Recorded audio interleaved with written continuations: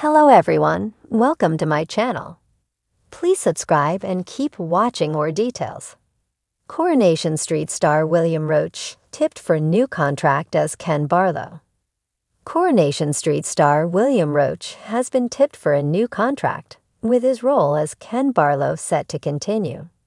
Roache has played the character since the show's premiere in 1960 and The Sun is now reporting that the actor will play the character for a 64th year, extending his record as the longest serving performer in a televised soap.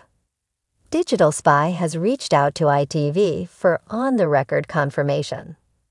Roache's contract renewal will be music to fans' ears, with the soap undergoing a period of turbulence as Chris Gascoyne recently exited the series as Peter Barlow and his on screen son Alex Bain, also set to depart from his role as Simon Barlow.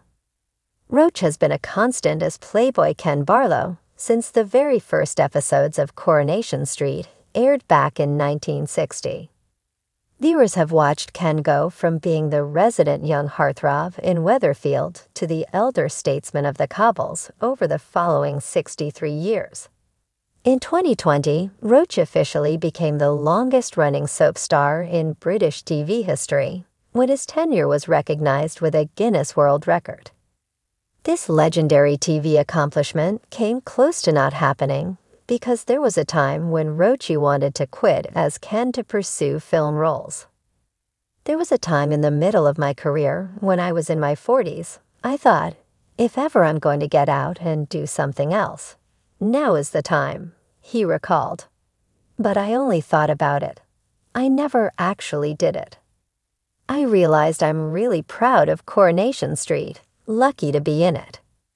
The work I got, and the big stories two or three times a year, is absolutely brilliant.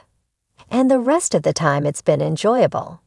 Although I did consider other things, I didn't seriously consider them. I didn't do anything about it.